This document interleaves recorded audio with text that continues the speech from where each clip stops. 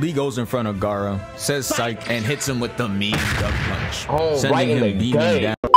How Rock Lee put the dog and underdog against Gaara. Let's It's do about it. time we talk about that boy Rock Lee. And what better fight to do The it GOAT. than this one?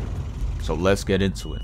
So after the worst track run of fights of all time happened, I'm talking Sakura versus Ino, Naruto versus Kiba, and Oh, yeah. Neji versus Them Minato. Kishimoto said, hold up, enough of these NyQuil fights. I gotta hit him with that heat. And he Nigga got said, to "Let it. So boom, that random ass HD flat screen TV they had started selecting fighters. And the first fighter it selected was Gaara. And you know what he Nigga does? on time, nigga this little be on time, teleportation thing to go to the middle of the arena. You know he couldn't wait to do that shit. And I hard. can't blame him. After watching those three weak ass fights, I gotta keep my mind occupied somehow. I'd be on my Vegeta timing too, taking my time figuring out how to pull up. The TV started selecting the next fighter, and 99% of the remaining fighters were not trying to see him in the ones. Nobody so was you trying to see were out there sweating. But notice how I said 99 because one was straight up ready, and his name is Rock Lee. He's was selected, and look scared at what at he's all. doing. He's up there shadow boxing, no fear in his heart. He said, I'm built for this. And nigga like, what's good? He jumps down to the middle and hits that iconic pose. And let me warn you, if you ever get into an altercation and they start hitting the Rock Lee pose, You get out of there. they probably Yeah, be in the gym five hours a day minimum. For your own What safety, walk away. But before the fight on? even starts, I need to talk about Gaara's teammates, Temari and Kangaroo, or however you say it, because they are really some elite level haters. The fight ain't even start yet, and Kangaroo in the back talking about Kangaroo? tell your friend with the shitty haircut he'll never be Gaara. Hey, hey, yo, can we peep how ugly this nigga Kankuro is? This nigga's ugly as fuck. Not in this lifetime. I know Naruto in his head is just like, Oh my god, bro, is dick riding all you do? because this shit is Kankuro be outrageous. Don't get me started on Temari. Because Kishimoto takes us through her thoughts and she was really talking about his kicks are weak as hell. Like, bro, what was wrong with his kicks? do? And the Oh, crazy part is if he seen either of them in the ones, he would have packed them up and went on to the next Like the bitch Temari's a fucking fan. How she know what even a good kick is, dog? round. But let's get into it. The Proctor's in the middle, like, ready, box. And Rock Lee starts rushing him, holding that W key. But I know you see W Gaara with key. his arms folded. Nigga and we like, know "What's good and well, if someone is standing still and not moving, 99% of the time, your attack is not going to work. It really isn't. And that's exactly what happened. He tried hitting him with the Leaf Hurricane and that shit did not work. He gets blocked and Gaara tries to attack him. But Lee is quick on his feet, so he moves out the way. Nigga and I know you see him doing those backflips. He's not taking that screen time for granted. He doing the most trying to get more minutes, but he had no idea what Kishimoto had in store for him. So after getting blocked, Lee's just like, damn, he blocked What do I do? with this hand. Whoa, really? I'm thinking bro about to pull up with a whole new game plan after stating that obvious ass shit, but he doesn't. And nigga, nigga finna start spamming fucking attack, bruh. He just Light- runs back at him with no new strategy, Light attacks no and spam changes, that shit. and gets his shit blocked. And it's crazy how we found out later that the Saiyan does this shit because of his mother continuing to protect bro long after she's gone. She's Long really looking she's up with a controller, perfect carrying every attack. This man Rock Lee was doomed from the start. The odds were always stacked against him. This damn near every a button on the 2v1. This is unfair. So after a couple more attempts, shit was clearly not going anywhere. Bro even tried taking out his kunai like an Apex heirloom, and he started swinging at the Saiyan. Nigga He was out there boxing doing the anything, Saiyan. bruh. On my first watch, this had me thinking like, damn, maybe Gaara's hating ass teammates were right. Maybe Lee wasn't all that. But then again, he's a dude with no ninjutsu going against the number one prospect. Like his life Facts. Already hard enough. They hoeing them. And I'm not gonna lie. You can't tell me the Chunin exams were not rigged. Let's look at the top three They had- prospects. they gotta be. Gaara, Neji, and Sasuke. They got Sasuke going against a Sound Village NPC, Neji going against Hinata, and no disrespect to Rock Lee, but on paper, Gaara going against Lee is ludicrous. Homie shouldn't have stood a chance. I know you saw that attendance. Their whole goal was to sell out the arena. This shit is fixed. That TV over there, yeah, that shit is not random. Anyways.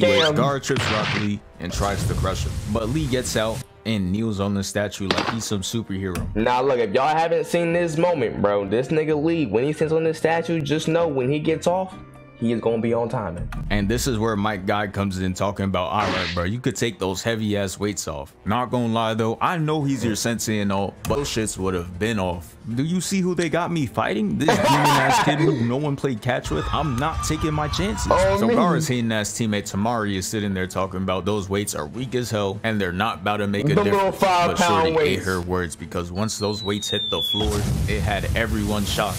But look at Gaara though. Like- he really hit him with the Light work, no reaction. till bro move. Now look at him. He Look like, at hey yo, why he disappeared? Hey, he like, hey, that nigga fast as shit. Lee starts hitting around, bro, just toying with him. And look at mm. Gaara. The thought of him having to actually box is killing him right now. He Nigga like, hold on, bro. I don't think my second keep up. knows he's about to get exposed for having no hands. The sand is barely keeping up, and that's how you know his mom is down in hell sweating right now, trying to keep up with every hit. Got her working Damn, overtime. I know she gotta be in hell. He starts circling Gaara and is like, oh yeah, it's time I finally get my lick back. Starts hitting the Sonic and puts the back of his Damn. head back of his head. I ain't gonna lie, I don't see how. Making him look straight down, Just got his ass. How is his neck still attached?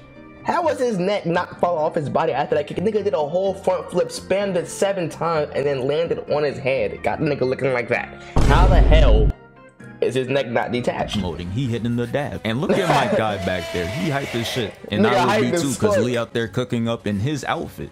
Lee said, Uh, I'm not finished. hits Gaara's stupid ass with a crossover and is like, hey, are your dumb ass looking? Damn. Gaara gets saw clean in the face. That shit had Gaara flying. He hits the ground. And I'm not gonna lie, that shit had me smiling. I want to see Lee win. But what I didn't know at the time is Gaara had that Batman level prep time. Because he had a backup plan the whole time if his auto defense failed him. And it was to coat himself in sand armor. And I couldn't even be mad. That was a good play. Good IQ. It was a You good still play. a bitch though, but hey, good IQ.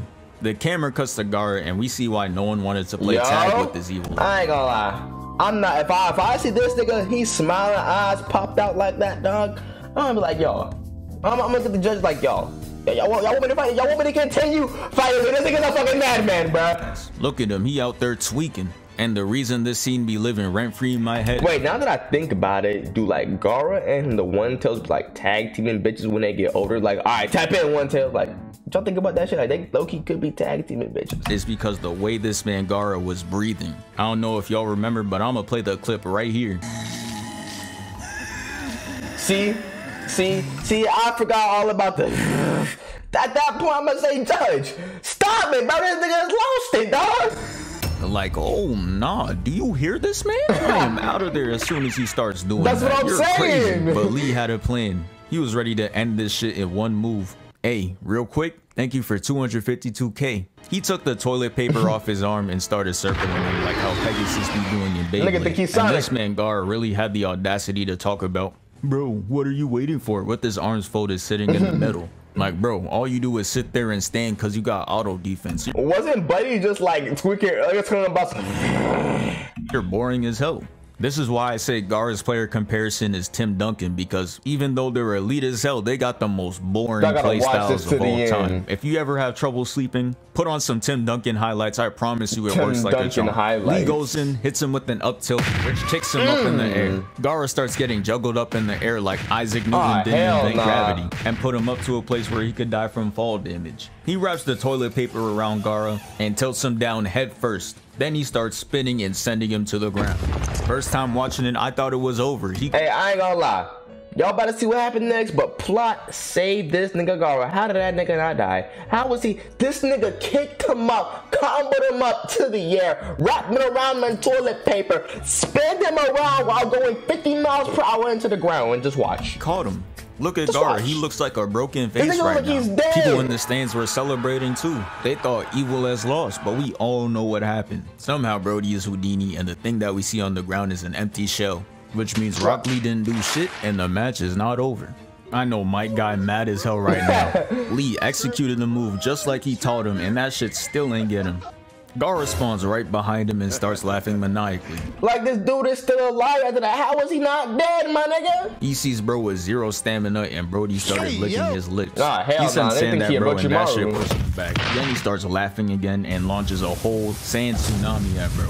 Yeah, this shit was getting hard to watch and then it happened. They started showing us flashbacks so Uh, Rock Lee can only mean one thing. He's about to go crazy. But before I skip Yeah, the flashback crazy or you about to cutscenes, I need to talk about the one with Neji because this was kind of crazy. This man Neji put the heel on his shoulder and started going to work. Look at this. He hits him twice in the gut. Headshots. Damn, him, oh my again, and he ends it off with three more headshots. Like he did not have to do Nigga's that. getting slapped up. So after the flashbacks, they take us right back to the fight. Gaara attacks Lee and bro moved out the way fast as hell. Oh, and shit. you know bro is confident because he has his back turned to him right now. Gaara said, man, that shit's a fluke. Tries to attack him four more times, but he Mm, too is copy. Nation certified. After all those misses, Rock Lee starts to charge up. And Gaara's like, I don't know what you think you're planning, but you're not a Super Saiyan gang. It's over. And Lee hits him with the, you are right. It is over.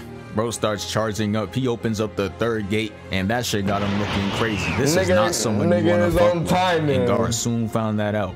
Lee opens up the fourth gate and charges right at him. He launches Gaara straight up, mm. and Gaara's just chilling peacefully in the air. Rock I ain't hits gonna him lie, one kick and you flying that high? with the jump scare and starts juggling bro around the See- arena. Neji is sitting there terrified as hell because he, How has bro not lost consciousness? he was out there greasing Lee back then. He didn't know he could do all this. And the mm-hmm. crazy part is Lee said he was saving this for Neji. That boy Nah, Lee that's was out here plotting murder. Nigga, if Neji Neji's fought Lee using the gates, he would have died. But hey, at least that death would be 20 times better than his original one. Bro established himself as a pencil holder before he went out. A that shit pencil crazy. holder. Lee goes in front of Gaara, says psych, and hits him with the mean duck punch, Oh, sending right him the beaming gut. down. But Lee wasn't finished. He made Gaara hit the Gwen and pulls him towards him, hitting him with a punch and a kick said, done," simultaneously, and completing the hidden lotus and sending him to the ground.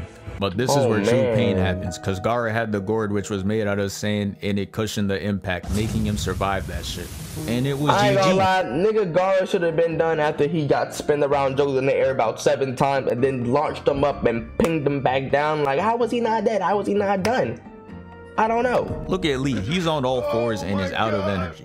Gaara's Hey, bitch ass plot uses the last Gaara, of his bruh. sand to crush Lee's arm and leg, trying to end bro's whole career. Gaara already pissed the whole block off with that shit, but homie said, I got one more in me. This time, more. he tried to put him to sleep for good. I had to look away because I couldn't watch him go. But thankfully, my guy comes in and saves him. Hey, nigga tried to fucking thirst rock. Nigga Maddie got his ass beat. Nigga, relax. Nigga, you ain't got the thirst, nigga, cause you fucking got your ass whooped. Since he stepped in, it gave Gaara the automatic win, but we don't care. Because the only thing that matters is that Lee is alive. He starts to walk off, and bro, this is how you know Rock Lee has that dog in him because he gets back up bleeding in his stance, completely And unconscious. still wanna that fight. man is truly different.